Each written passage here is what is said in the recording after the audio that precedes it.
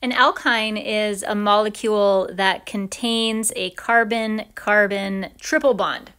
So when we are asked to name an alkyne, our first step is to find the longest continuous chain of carbon atoms that includes the triple bond. We're not necessarily looking for the longest chain of carbon atoms, we're looking for the longest chain that includes the triple bond. So, for example, with this first molecule, our longest chain of carbon atoms is going to have to include those two carbons and will continue along the chain and it looks like this is our longest chain. When we are ready to number the carbon chain, we want to number it in such a way that the the carbon-carbon triple bond gets the lowest possible number. So for this molecule, that means that we want to number those carbon atoms from the right side of the chain to the left side of the chain. Like other molecules, we'll start the molecule's name by naming the substituents first, including their location. This molecule has a methyl group on carbon number five, so it's a 5-methyl. And then, like we saw with alkenes, our next job is to name the parent chain of the molecule, including the location of the triple bond.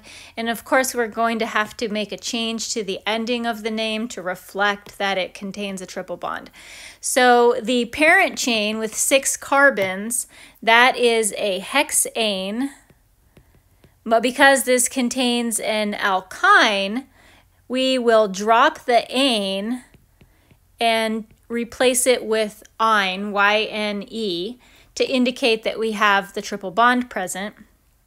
The location of the triple bond is starting on carbon number one, so this is one hex yne.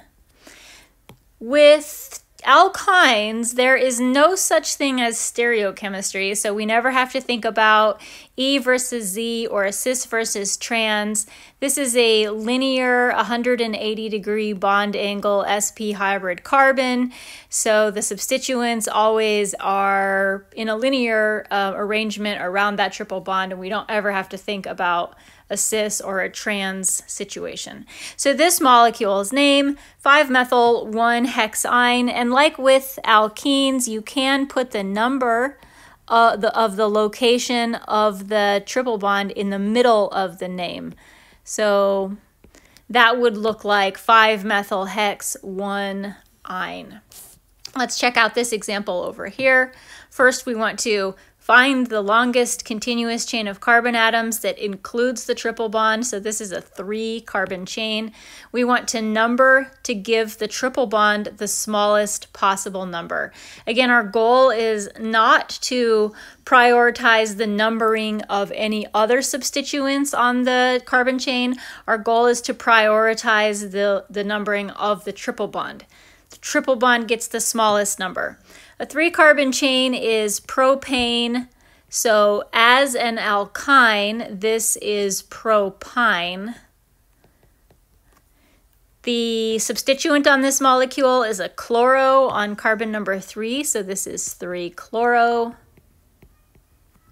one propyne, or three chloro prop, one yne. Let's look at a few more examples.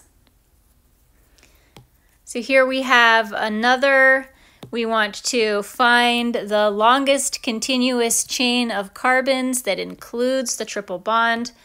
Number the carbon chain so that the triple bond has the smallest possible number. We don't have any substituents on this molecule at all, so we'll jump straight to the parent chain. The triple bond starts at carbon number two. Five carbon chain is pent. This molecule's name is 2-pentyne. Again, as a refresher, when you're locating the position of the triple bond, and this is also true for locating the position of a double bond, you use the smaller of the two numbers for the location of the triple bond. So this triple bond starts at carbon number 2 and goes to carbon number 3. We use the smaller number, number 2, in the molecule's name. Next example, we have a one, two, three, four, five, six carbon chain. Whether we number from left to right or right to left, our triple bond is going to be on carbon 3 going to carbon number 4. If this molecule was asymmetrical, we would want to choose to number from left to right or right to left, whichever would provide the smallest possible set of numbers for our substituents. But because this molecule is perfectly symmetrical, it's not going to matter whether we number from left to right or right to left. We'll actually end up with the exact same name. You could try that out if you wanted to. So our substituents are a methyl and a methyl and a methyl and a methyl. We have four methyls. So that's tetramethyl. Their locations are on carbon 2, carbon 2, carbon 5, and carbon 5. 2, 2, 5, 5. I'm going to erase this 6 because it's confusing. So remember when you're um, giving the names uh, and the, the locations of your substituents, if you have two identical substituents on the same carbon, like we have in this case, you still have to list that carbon's or that substituent's location every substituent's location. So if you have two substituents on carbon 2, that means you need to have two number 2s. And if you have two substituents on carbon 5, you have two number 5s. Every substituent gets identified in terms of its location. Six carbon chain, so this is a hexane. Uh, as an alkyne, it's a hexyne. The triple bond starts on 3, so this is 3-hexyne.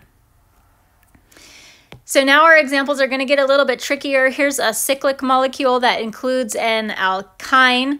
Our priority is to include the triple bond in the carbon chain. When you have a molecule that has a cyclic component as well as a straight chain component and you're finding the longest carbon chain, your longest carbon chain is either exclusively the ring or it is exclusively the straight chain you cannot mix and match. So, for example, we cannot start with our straight chain and then go into the ring. This carbon atom right here, because it belongs to the ring, could only belong to this sort of a parent chain. We can absolutely not extend a parent chain into a ring or out of a ring. So our parent chain is either going to be this or it's going to be this and since we are prioritizing the alkyne, our parent chain has to be this right here, even though that is only five carbons, fewer than what we see in the ring. Again, it's important to prioritize the triple bond. So here is our carbon chain, and we want to number to give the triple bond the smallest possible number. So that will be numbered from left to right. Our substituent on carbon number one is this cyclohexane. That as a substituent will be called cyclohexyl. Remember, as a substituent, we uh, give the ending il, yl, to indicate that it's a substituent. The cyclohexyl ring is on carbon number one. And then we have, starting on carbon number two, we have our alkyne pentyne.